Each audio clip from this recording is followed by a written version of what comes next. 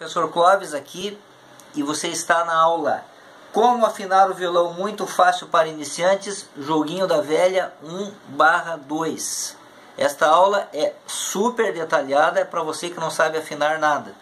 Mas depois que você assistir essa aula, você deve continuar na aula 2 de 2. Vai ser como afinar muito fácil para iniciantes, aliás, como afinar o violão muito fácil para iniciantes, joguinho da velha 2/2. Use a aula 2 de 2 quando você já estiver compreendido todo o assunto desta aula com explicação. Na aula 2 é só o diapasão eletrônico, é só as notinhas de referência. Vai ser muito mais rápido você afinar por lá do que usando esta aula inicial, tá bom? E Afinar violão é fácil, mas precisa de um pouquinho de experiência. Eu acredito que com tudo que eu vou ensinar aqui, você vai ter o seu problema resolvido. E eu tenho uma videoaula ensinando a afinar com o diapasão eletrônico do celular. Eu quero recomendar, aparece aqui no balãozinho, tá certo? E digo, se você tiver muita dificuldade no começo, saiba que é normal, pode pedir ajuda a algum amigo, tá? E você pode também afinar pelo ouvido, usando a aula de hoje e conferindo com a aula do, da afinação usando o diapasão eletrônico, usando o celular. O que eu vou te pedir? Insista no ouvido, porque o ouvido realmente é o mais importante. Tá certo? Então, primeiramente, presta atenção aqui na minha mão direita. Tá? As cordas do violão contam-se de cima para baixo. Então, aqui eu tenho Mi, vai decorando. Depois eu tenho Lá, depois Ré, depois Sol, depois Si, depois Mi. Olha aqui para mim. Isso aqui é fácil, mas você tem que decorar, tá bom? Olha aqui de novo, olha aqui de novo. A Mi equivale à letra E, certo? A Lá equivale à letra A. A corda Ré equivale à letra D.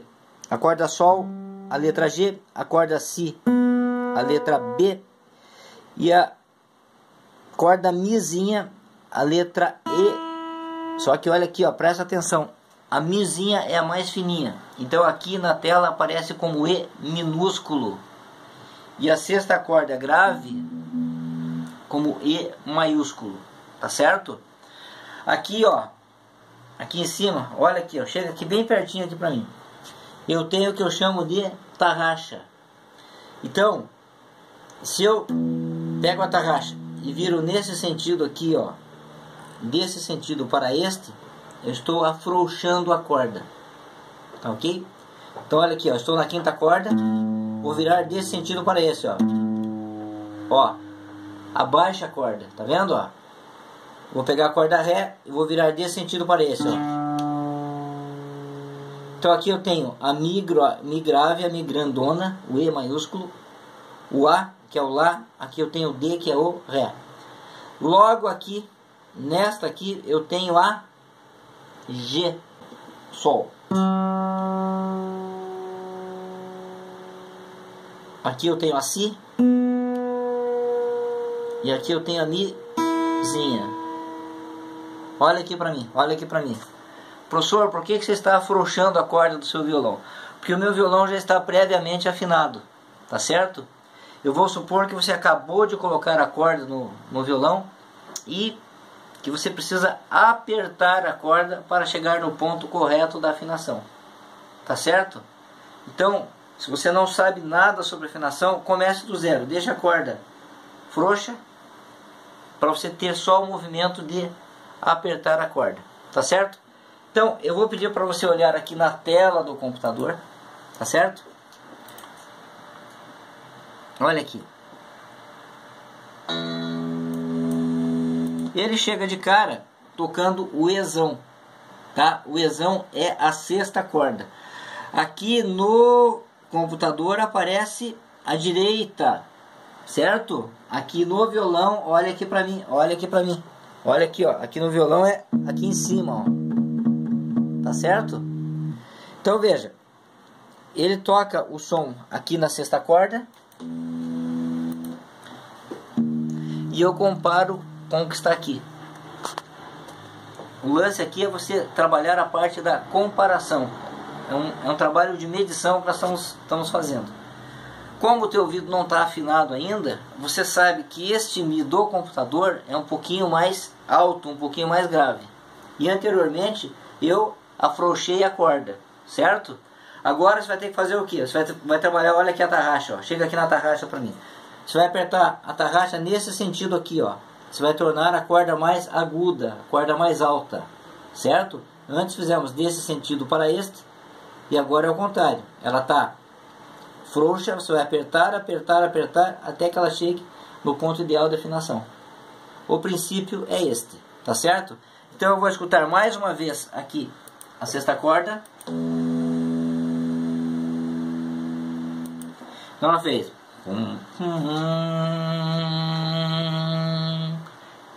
Ela fez. Tenta imitar esse som com a sua voz aí, ó. Faz comigo. Tenta imitar esse som com a voz, ó.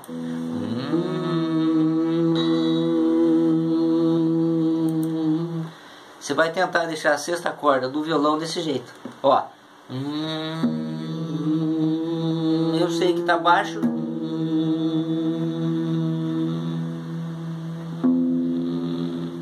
Eu vou apertando até que chegue no ponto que eu acho que está mais ou menos. Tá certo? No começo, realmente, se você conseguiu mais ou menos, já tá bom. Mas você afina o dia seguinte, fica melhor ainda outro dia, melhor ainda. Quando vê, você está afinando correto. Tá? Mas não tenha um violonista que não tenha passado por essa fase. Tá? Não se desespere, não fique nervoso, que você vai conseguir. Eu afino, eu bato aqui e confiro com o que está no computador. Ó.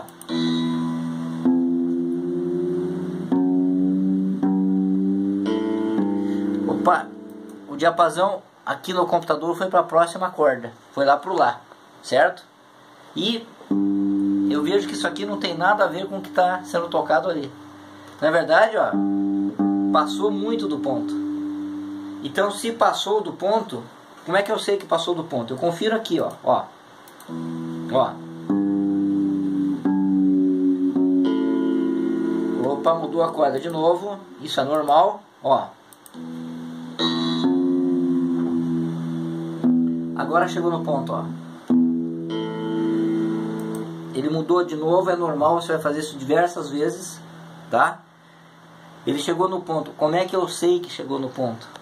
Parece que esse som aqui, ele casa com o som que está saindo no computador. Isso é questão de treino, é questão de acostumar o ouvido. Eu volto aqui o vídeo um pouquinho, tá? E... Opa, agora deu certo, ó automaticamente ele foi para a corda lá. Então eu pego lá aqui e o vejo está mais baixo, ó. Ó, eu confiro lá do computador.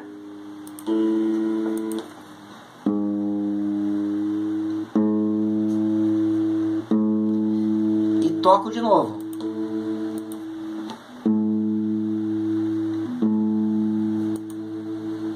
Repito.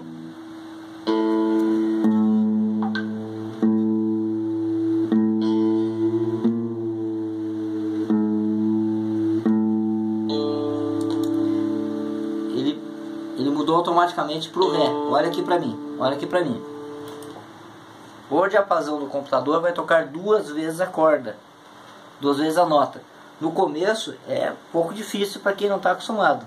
Mas você sabe que vai vir duas vezes, você volta um pouquinho naquele ponto ali que vai dar a afinação correta. Tá? Eu vou te passar um macete que é o seguinte. Eu afinei a Mi e afinei a Lá. Tá certo? Chega bem próximo aqui para mim, bem próximo aqui, ó. Ó. Eu tenho aqui terceira casa e aqui quinta casa no violão, tá? Aqui eu tenho sexta corda e aqui eu tenho quinta corda. Chega o mais próximo que você puder. Se a corda estiver afinada, eu vou apertar aqui, ó, na quinta casa, sexta corda, tá? E vou tocar. Por ressonância, por questão de física, tá? A corda de baixo vai vibrar. Veja, ó. Percebeu que vibrou? Eu toco de novo, ó. ó. Olha aqui pra mim. Isso é tão fácil que até a tua avó vai conseguir entender. Professor, eu toquei, mas não vibrou a corda de baixo, professor. Então porque não está afinado. Não depende nem do ouvido, depende só do, do visual. Tá certo? E assim nós vamos fazer com todas as cordas. Exceto, eu disse exceto a terceira corda. Por que, professor? Por questão de física, questão de matemática, questão de construção física do instrumento. Mas nós vamos fazer todo o processo agora um pouco mais rápido. Em todas as cordas você vai ver que eu, que eu, que eu aperto na quinta casa e confiro na corda de baixo. Somente aqui na terceira que eu vou apertar aqui, ó. Quarta casa. Aqui é quinta casa, aqui é quarta casa. Tá certo? Então vamos lá. Eu toquei aqui, ó, na sexta. E a de baixo está afinada por quê? Porque deu a tremidinha. Você está vendo no vídeo aí. Agora eu venho aqui na quinta. Eu toco, ó. A de baixo está afinada? Tremeu? Não. Mas eu sei que essa quarta corda está mais baixa. Então eu aperto a tarraxa nesse sentido daqui para cá, ó. E confiro aqui, ó. Chego aqui na quinta corda, que é a minha corda de referência, toco na quinta, esperando que vibre a, de, a quarta, que é de baixo, ó. Vibrou? Vibrou ou não? Então se não vibrou, eu refaço o processo, escuto aqui o Ré.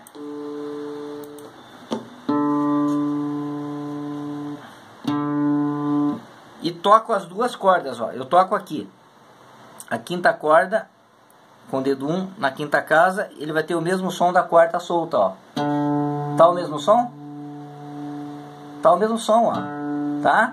Agora, eu aperto novamente aqui na quinta casa e vejo que a quarta corda está vibrando sim. Estava vibrando e você não percebeu. É uma vibraçãozinha pequena, uma vibraçãozinha sutil, tá? Não vai dar um terremoto aqui, tá? É uma coisa bem sutil. E se eu estou na dúvida, eu toco a corda de cima com a corda de baixo. Como aqui, ó, eu poderia ter apertado a sexta corda, a quinta casa, tocando a sexta e tocando a quinta solta, ó. Dá certinho o som, ó. Depois vem pra quarta. Depois eu posso fazer a mesma coisa aqui na quarta e terceira corda, ó. Ó, tá igual esse som? Não tá. A quarta eu acabei de afinar. Tarraxa da quarta corda está aqui, certo? E aqui está a tarraxa da terceira. A terceira eu sei que está mais baixa. Então o que, que eu faço? Eu toco aqui no computador. Veja aqui, ó. Olha aqui no computador. Eu vou usar o G, que é a terceira corda, que é a Sol. Vamos, vamos escutar o G, ó. Tocou o Ré. Opa! Sol. Sol. Eu imito, ó. Sol. Ó. Sol. Aqui tá baixo. Sol. Vou aumentando, ó. Sol. Ficou mais ou menos parecido com a minha voz. Tá certo? Ó. Sol. E eu venho aqui na quinta casa, quarta corda, que era a corda que eu já tinha afinado, e toco. E bato. E, e olho na corda de baixo. Vibrou a cordinha de baixo ou não? Não tá vibrando? O que, que você acha? Não estou conseguindo ver. Não está conseguindo ver? Não. Então o que, que você faz? Você toca aqui na quarta corda junto com a terceira. Toca as duas juntas, ó. A terceira corda está um pouquinho mais baixa. Então eu aumento um pouquinho aqui na tarraxa, venho aqui na tarraxa e aperto um pouquinho mais. Opa, o meu vírus está dizendo que afinou. Tá certo? Aí o que, que você faz? Você toca as duas cordinhas. Você toca a quarta, que, é, que você tinha afinado, e mais a terceira, que é a que está afinando agora. Toca as duas juntas, ó. Deu o mesmo som? Sim. Agora deu. Joia. Para confirmar, eu toco aqui na quarta e não toco a terceira, ó. Vibrou a cordinha de baixo? Vibrou. Agora vibrou. Olha aqui pra mim. Isso aqui não é coisa do outro mundo, é coisa fácil. Mas precisa de treino, precisa de prática. Tá bom?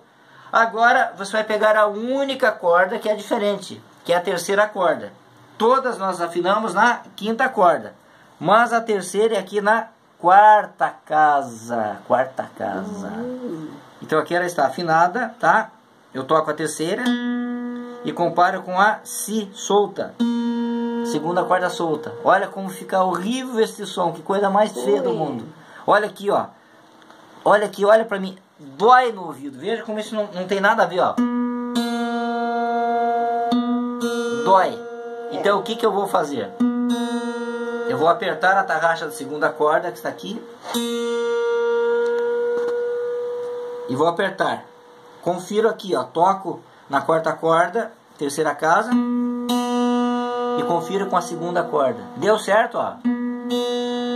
Deu certo. Eu toco as duas juntas, ó. ó. Está o mesmo som? Está. Está. Para tirar a dúvida, eu toco na terceira, que é a corda afinada, e comparo com a cis, segunda corda solta. Ó. Vibrou ou não vibrou?